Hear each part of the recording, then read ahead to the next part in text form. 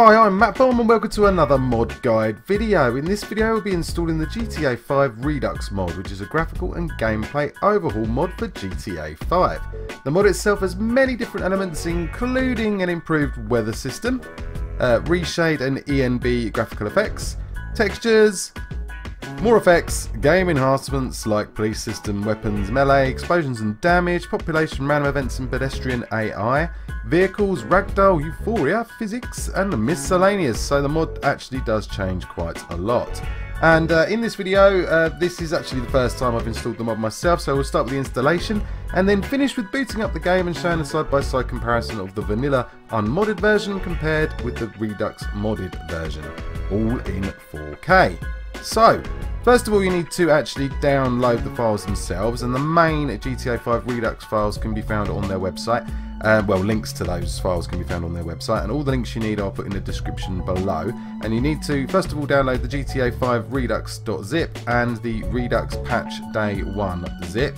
There's also a torrent which has both of the files included that you can download instead.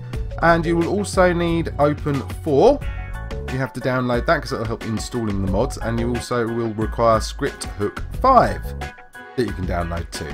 And all these links will be in the description. They're also on the GTA 5 Redux page itself.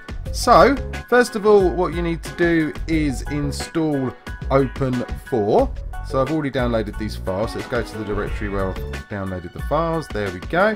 And you'll see it says OVI setup, but it's actually Open 4 instead of Open 6. So if you just double click on that and install, I believe it's a Russian product, so you've got English and Russian languages there. Click continue. Just accept the terms and conditions. Click continue. Um, I'm going to actually run open for after installation as well, just to see and make sure it's actually worked properly. I'm going to leave all the defaults there in the installation path as the default and create a desktop icon also. So click continue. It's asking to download, so we want to continue. Yes. Not sure how long this is going to take. Shouldn't be that long. There we go. Nice and quick. Now it's installing. Shouldn't take too long. Okay, and then close. Right, so it is actually supposed to prompt you to install some plugins, but it didn't. So what we're going to do is we're going to click on the game we want to uh, mod, so Grand Theft Auto 5 on Windows. And it's asking for the location, so I'm going to browse to where I've installed uh, Grand Theft Auto 5, and that's on my F drive in Rockstar Games Grand Theft Auto 5. And click Select Folder. And then it's found GTA 5 EXE, which is what it wanted to do. And then click Continue saying don't forget to back up your original files before editing, which I've done. So click continue. And you can just copy those to another directory, just copy the entire directory to another directory. It doesn't really matter because if you, if you muck it up, you can just uninstall and reinstall anyway, so it's not really a big deal. Then click continue. Although it does take some time to reinstall because it's like a 70 gig download. GTA 5, there's an awful lot to it. Now, Open4 is starting. Right, and once you've got Open4 up and running here, if you go to Tools at the top, you'll see ASI Manager. If you click ASI Manager, you've got these plugins here, and you want to install all three of the plugins. So click Install on all three. It shouldn't take too long. Okay, it's going to create the mods folder. The mods folder allows you to keep all your original game files safe and have easiest one-click way to switch between modified and original files. Show notification while editing archive outside of mods folder. So we'll say yes. And we'll click install on open camera. And that is that. We can close the ASI manager. So those plugins should now be installed within the GTA 5 folder. And if we look at my GTA 5 folder, we'll see there is now a mods directory in there with nothing in it. That's what that just created. Okay, so that's that step done. Now, the next step is to install the script hook 5. So if we go to where I've downloaded script hook 5, this is this zip file here. Okay, and in the, bin directory, this is uh, WinRAR. You can also use the, as it's a zip file, you can also use the native um, zip archive ability of Windows and you'll be able to just do exactly the same thing here, just looks slightly different. And the two files we want are the dinput8 and Scripthook5, both these um, dynamic link libraries, the DLL files. And you can hold down Control and left click on each one to select individual files. And then all we're going to do is we're going to drag those over to the GTA 5 directory to copy them in there. So I'm just going to make sure you can see that. I'm going to drag these over to the root of that directory. Okay, it says it's already run one in there, so we're just going to replace that. Okay, so now that section is done. Right, now we need to install GTA 5 Redux itself. So the first thing we need to do is extract the contents of the GTA 5 Redux zip file. And I'm going to extract that to the same directory I downloaded the, the mods to. And then, then I'm going to display the files in Explorer. Okay, so that's now finished extracting. As you can see there, they're all in there, the files that you require. So I'm just going to minimize that window. Now, the next step is to go back to your GTA 5 game folder, like mine here. And we need to copy and paste the following directories and files into the mods folder. So we want the update directory or folder. We want x64 folder. We want the common RPF file we want the X64A RPF file. And we want the X64W RPF file. Yeah, okay, right, and now when you've got these, you can right click them, select copy, and then you want to paste them into the mods folder, so you can just right click on the mods folder and select paste. And then that'll copy them all into the mods folder ready for the next part. Okay, once all of those directories and files have been copied into the mods directory in the Grand Theft Auto 5 folder, you can go on to the next stage. The next stage is to go into Open4 and then go up to Tools at the top and you should find something called a package installer. So left click that and then you want to navigate to the um, extracted files from the Redux mod that you had earlier. So there they are on my computer and you want to select the Redux installer .oiv and click open. Okay, and the installer will start, and it's giving you some advice here of what you need to do. But we've already done all of this, and it's telling you to make sure you choose game folder as your install location. So, click install, select game folder, and the Redux mod will install. And this shouldn't take too long. Okay, now once it's finished, it'll tell you the installation has succeeded, but you don't want to run Grand Theft Auto 5 yet. I'm going to close this open for installer, the, the package installer. I'm just going to minimize that as well.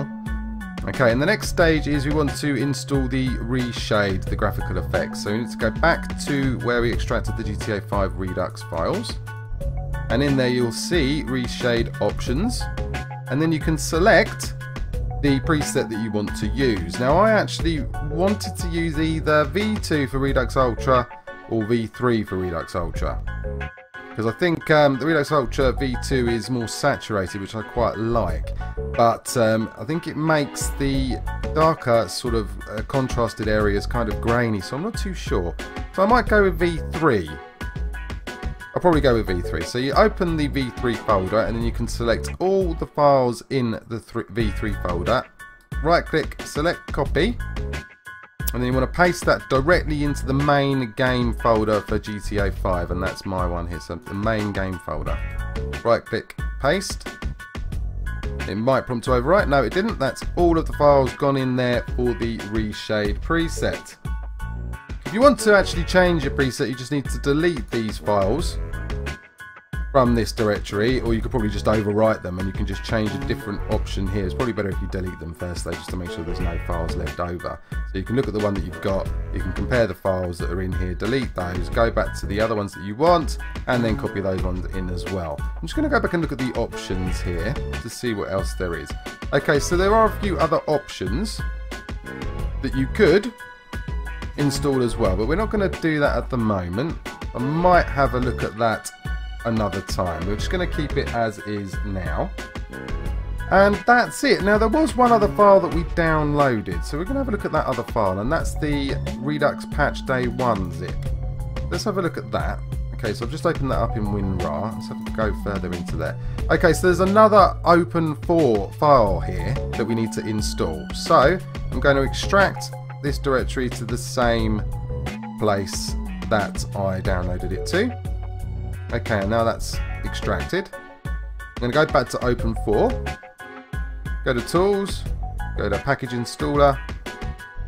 Point to the Patch Day 1 file folder, Redux Patch Day 1. Select the open4 Patch Day 1 file. Click Open. Okay, so before installing, make sure you've already installed the main part. Yep. After you've installed the main portion of the mod, you can then install this patch. Yep. You must choose game folder as your installation location. Okay. That's fine. So we're now going to click install, select game folder, and now it's going to install the patch. Now this isn't actually documented on the GTA 5 Redux website, so I just kind of guessed that you had to do it.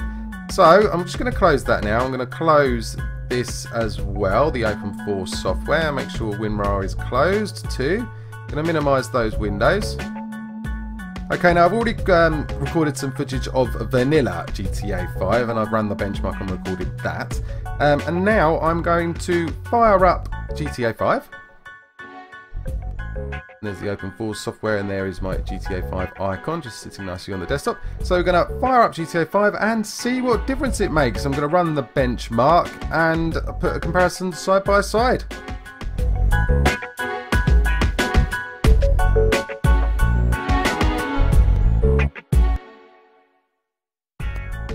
So after you've finished installing the Redux mod, it won't work properly and it won't start that I've just experienced myself if you've got these extra files in your Grand Theft Auto 5 mods directory. Now I'm not sure how they got there, I certainly didn't copy them there as you saw from the previous footage, so very strange why they're there, but if you delete all of these files from the mods directory, not to be confused with the main directory because you'll be deleting files you need, so if we delete those files, they can be picked back up again from the main directory because they're all sitting at the bottom. But for some reason they copied across into the mods directory. Very, very strange. Not sure why. I mean, that will cause GTA 5 to crash. So now if you fire up GTA 5, which we will do,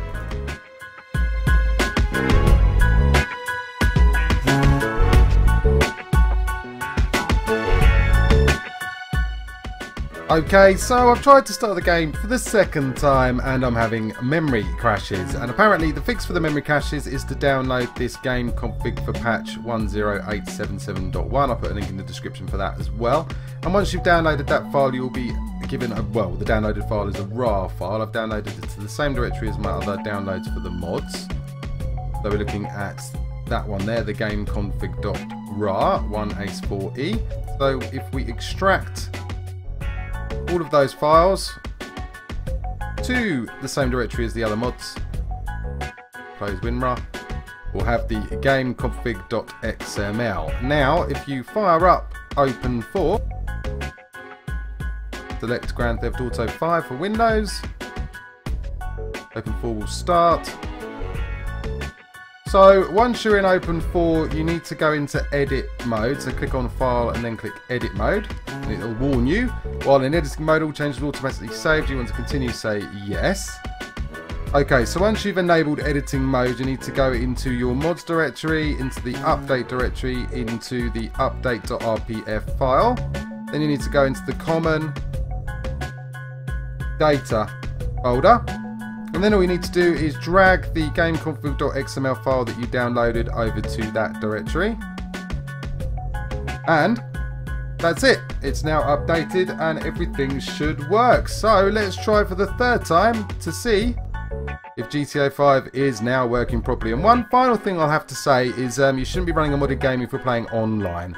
You should only play online with an unmodded game to uh, avoid the risk of being banned because they don't like modded games when you're playing online. So just do this if you're playing on single player and you should be absolutely fine. I only plan on playing this on single player. So that's fine. So let's fire up Grand Theft Auto 5 finally for the third time and do the comparison, hopefully.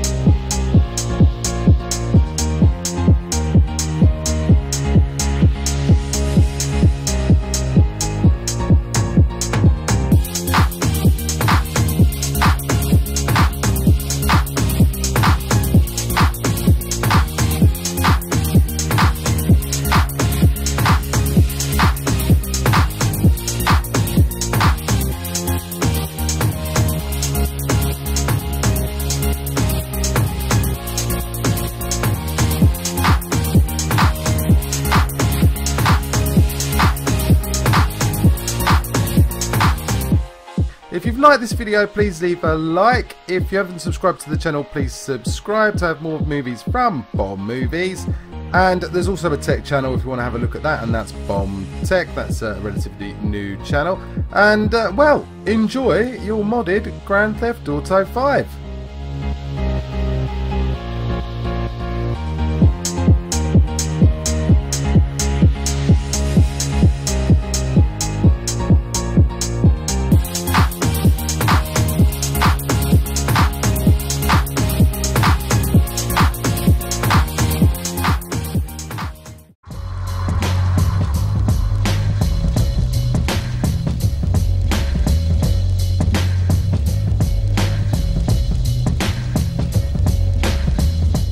To actually download the files themselves and the main GTA 5 Redux files can be found on their website. Uh, well links to those files can be found on their website and all the links you need I'll put in the description below.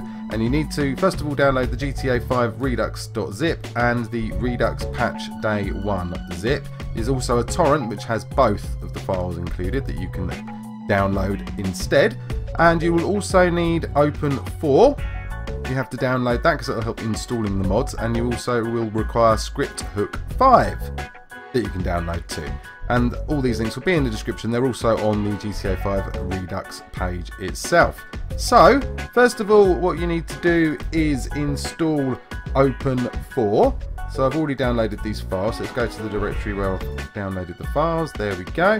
And you'll see it says OVI setup, but it's actually Open 4 instead of Open 6. So if you just double click on that and install, I believe it's a Russian product, so you've got English and Russian languages there. Click continue. Just accept the terms and conditions. Click continue.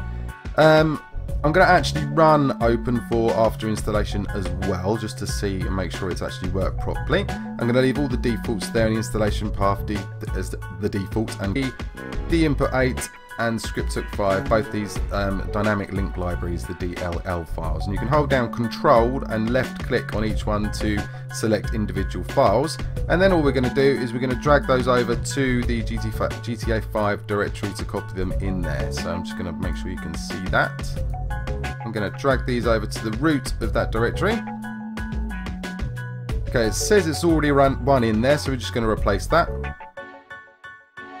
Okay, so now that section is done. Right, now we need to install GTA 5 Redux itself. So the first thing we need to do is extract the contents of the GTA 5 Redux zip file and I'm going to extract that to the same directory I downloaded the, the mods to and then, then I'm going to display the files in Explorer. Okay, so that's now finished extracting. As you can see there, they're all in there, the files that you require. So I'm just going to minimize that window. Now the next step is to go back to your GTA 5 game folder like mine here and we need to copy and paste the following directories and files into the mods folder so we want the update directory or folder we want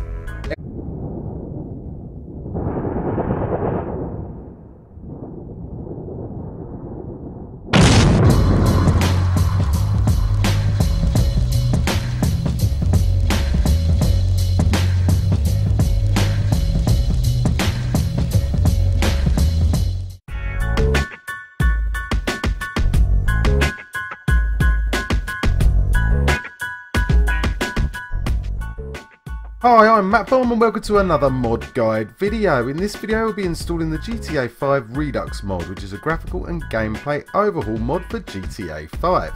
The mod itself has many different elements including an improved weather system, uh, reshade and ENB graphical effects, textures, more effects, game enhancements like police system, weapons, melee, explosions and damage, population, random events and pedestrian AI, vehicles, ragdoll, euphoria, physics and miscellaneous. So the mod actually does change quite a lot.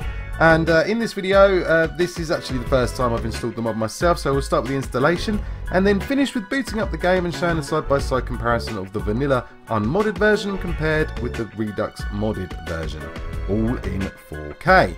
So, first of all, running here, if you go to Tools at the top, you'll see ASI Manager. If you click ASI Manager, you've got these plugins here and you want to install all three of the plugins. So click install on all three. It shouldn't take too long. Okay, it's going to create the mods folder. The mods folder allows you to keep all your original game files safe and have easiest one-click way to switch between modified and original files. Turn notification while editing archive outside of mods folder. So we'll say yes. And we'll click install on open camera. And that is that. We can close the ASI manager. So those plugins should now be installed within the GTA 5 folder. And if we look at my GTA 5 folder, we'll see there is now a mods directory in there with nothing in it. That's what that just created. Okay, so that's that step done. Now, the next step is to install the script hook 5. So if we go to where I've downloaded script hook 5, this is this zip file here. Okay, and in the bin directory, this is uh, WinRAR. You can also use the, as it's a zip file, you can also use the native um, zip archive ability of Windows and you'll be able to just do exactly the same thing here, it just looks slightly different. And the two files we want are the create a desktop icon also, so click continue. It's asking to download, so we want to continue, yes. Not sure how long this is going to take, shouldn't be that long, there we go, nice and quick. Now it's installing, shouldn't take too long. Okay, and then close. Right, so it is actually supposed to prompt you to install some plugins, but it didn't. So what we're going to do is we're going to click on the game we want to uh, mod, so Grand Theft Auto 5 on Windows. And it's asking for the location, so I'm going to browse to where I've installed uh, Grand Theft Auto 5, and that's on my F drive in Rockstar Games Grand Theft Auto 5. And click Select Folder. And then it's found GTA 5 EXE, which is what it wanted to do. And then click Continue saying don't forget to back up your original files before editing, which I've done. So click continue. And you can just copy Oh, those to another directory, just copy the entire directory to another directory. It doesn't really matter because if you, if you muck it up, you can just uninstall and reinstall anyway, so it's not really a big deal. So click continue.